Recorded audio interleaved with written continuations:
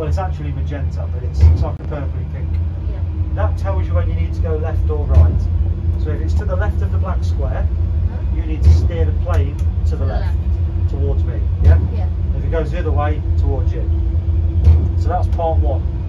Part two is another line that runs this way. Mhm. And the other line will tell us if we need to go higher or lower. Okay. So initially, we're going to go up to eight. We're going to go up to 8,000 feet. That should keep us safe. So we're at 1,000 feet at the minute above sea level, Mhm. and this is our speed. Okay. So you'll see a pink cross on the screen once we start accelerating down the runway. And your job, when I say the word rotate, you're going to pull back, and you're going to take the black square up the screen and keep it in the middle of the pink cross. Okay. So everything else is set. Now you have to be very